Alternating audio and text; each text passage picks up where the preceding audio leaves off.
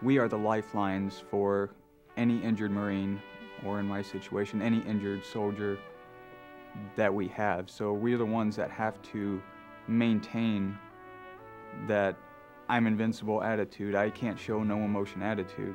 There are times in your career uh, when you're exposed uh, to extreme circumstances, uh, you just rely on your instincts uh, and what you've been trained.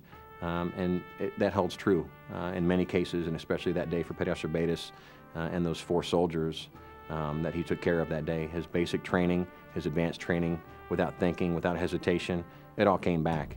Our convoy was to go to the Charkh Police District and mentor the Afghan police.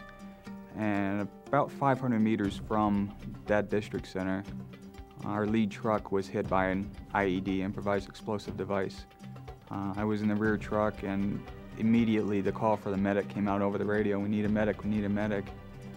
So my first instinct and my first thought was, you know, a deep breath and okay, here we go. When the explosion rocked, he, uh, of course, there was uh, the commotion, unsure what was what had just happened, uh, and uh, he took prompt action uh, and ran to that vehicle, uh, undertaking live fire.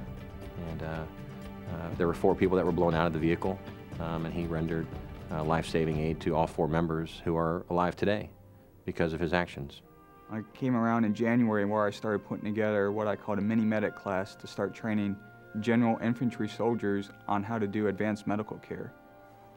In February, one of those soldiers used the skills that I had taught to save the life of a French, French soldier. The ANP had used you know, emergency treatment medical skills to save the lives of four or five of their policemen when they were hit by IEDs. So it's you know broad scale from my point of being there and impacting all these other members of the coalition force that we work with to save the lives of their own people. Those men um, are to they're to they're to grow old uh, because of him. They're to have uh, extended families because of him. Um, there there are wives and daughters and mothers and fathers and sisters and brothers out there who had their loved ones returned because of him.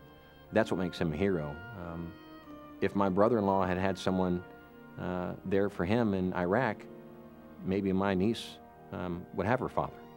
But there wasn't anybody like Mike that day there for my brother. And um, that's why he's a hero to me.